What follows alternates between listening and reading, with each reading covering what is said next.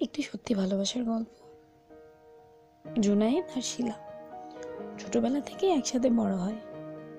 শিলার বাবা ব্যবসায়িক আর জুনায়েদের বাবাও একজন ব্যবসায়িক। দুই ফ্যামিলির মধ্যে সম্পর্কটা মন্দ নয়।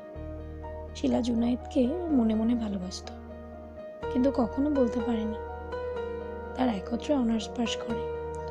জুনায়েদের সরকারি চাকরি হয়। বাসা থেকে ধুমধাম করে বিয়ে দিয়ে দেয়। শিলা বেচারি ঘরে বসে একা কাঁদে। কিছু করার থাকে না তার। শিলার অবস্থা দেখে তার মা শিলাকে চেপে ধরে। জিজ্ঞাসা করে, সমস্যা কি? কান্না বিচারিত গলায় শিলা জানায়, তার লুকানো প্রেমের কথা। তার এক পেশে ভালোবাসার কথা। শিলার পরিবারে দুঃখ নেমে আসে। শিলার বাবা জানতে পেরে মেয়েকে জলদি বিয়ে দেওয়ার ব্যবস্থা করতে চান। কিন্তু শিলার এক কথা তার মনের কোঠায় গভীরে যে জুনায়েদকে বসিয়েছে, এখন কোনো অবস্থাতেই তার পক্ষে বিয়ে করা সম্ভব নয়। সে এমনকি এই বলে হুমকি দেয় যে বাড়াবাড়ি করলে সে আত্মহত্যা করবে। শিলার পরিবারের সবাই ভয় পেয়ে যায়। সাথে সাথে কষ্টও পায়। কিন্তু কিছু করার থাকে না। একমাত্র মেয়ের মুখের দিকে তাকিয়ে শুধু দীর্ঘশ্বাস ফেলা ছাড়া। বছর পাঁচেক পরের ঘটনা। শিলা এখন ঢাকাতে একটি বেসরকারি স্কুলে শিক্ষিকা। গ্রামে ইদানিং যায় না সে বাবা মার সাথে ফোনে কথা হয়। এক পুজোর ছুটিতে পাঁচ দিনের জন্য গ্রামে গেল সে।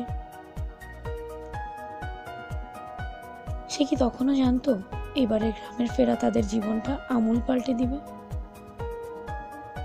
শিলা বাসায় ফিরে দেখে বাসার সবার মাঝে একটা কষ্ট উপলব্ধি করতে পারে। শিলা মাকে জিজ্ঞেস করে, কি হয়েছে? শিলার মা প্রথমে শিলাকে কিছুই বলে না। মেয়ের চাপাচাপিতে তিনি সব খুলে বলেন জুনায়েদ গ্রামে এসেছে, তার একটা ফুটফুটে বাবু হয়েছে। বাবুটার বয়স মাত্র দুই বছর। বাবুটাকে জন্ম দিতে গিয়ে তার মা মারা যায়। জুনায়েদ গ্রামে এসে শিলা মা বাবার সাথে দেখা করতে আসে। ছেলেটার মনে এক অদ্ভুত খুব দেখতে পান তার। এক চাপা কষ্ট। শিলা ঘটনা শুনে থ হয়ে যায়। জীবনটা কোনো সিনেমা নয়, যে সে জুনায়েদের বাচ্চাকে বড় করবে, তাকে নিজের ছেলের মতো করে পালবে। কিন্তু শিলা খুব ইচ্ছে করে। আরও একবার, শিলা নিজের কাছে হেরে যায়। মুখ ফুটে বলতে পারে না, তার গোপন ইচ্ছের কথা। পুজোর ছুটি শেষ। আজ বিকেলে শিলা ঢাকায় ফিরে যাবে। ব্যাগ গোছাচ্ছে।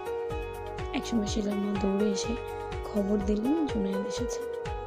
শিলা চমকে যায়। সে চাচ্ছিল যেন জুনায়েদের সাথে তার দেখা না হয়। কি লাভ কষ্টের বোঝা বাড়িয়ে মায়ের কথায় অবশেষে জুনায়েদের সাথে দেখা হয় তার। দুজনেই চুপচাপ। হঠাৎ জুনায়েদ বলে ওঠে, ঢাকায় থাকো শুনলাম আমিও ঢাকায় থাকি পরিবারে। তুমি ধানমন্ডিতে আমরা দুজন ফ্রেন্ড একত্রে থাকি। ও আমার সাথে একই স্কুলে পড়ায় আমাদের পাশের গ্রামেরই মেয়ে। আরও কিছু কথা বলে তারা একে অপরকে বিদায় জানায়। ভালো থেকো। বলে ঘুরে নিজের রুমের দিকে হাঁটতে থাকে শিলা। অজানা কষ্টে বুকটা দুমড়ে মুচড়ে যাচ্ছে। নিজের মনের উপর অসম্ভব জোর কাটিয়ে ফিরে চলে সে রুমের পথে। ঘাড় ঘুরিয়ে শেষবারের মতো ফিরে তাকায় সে। দেখল জুনায়েদ দাঁড়িয়ে আছে। তার কোলে একটা ফুটফুটে বাচ্চা নিয়ে। জুনায়েদের চোখটা ভেজা। দূর থেকেও দেখা যাচ্ছে অশ্রুকণাগুলো। কেন যেন ও বাচ্চাটাকে দেখার পর নিজেকে আটকে রাখতে পারল না শিলা। জুনায়েদ এবং শিলার বিয়ে হয় তাদের উভয় পরিবারের অনুমতি নিয়ে। কুষ্টিয়ায় দৌলতপুরে এখন আছি আমরা।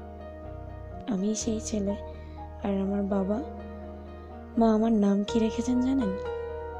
নূর। বাবা মার কাছে থেকে পুরো ঘটনাটি শুনি। আমি তাদের আঠারোতম বিবাহ বার্ষিকী, বার্ষিকীতে এরপরে লিখে ফেলি আর আজ জানিয়ে দিলাম পৃথিবী থেকে। সবাই দোয়া করবেন আমার পরিবারের জন্য। আমি এখন ইঞ্জিনিয়ারিং পড়ি।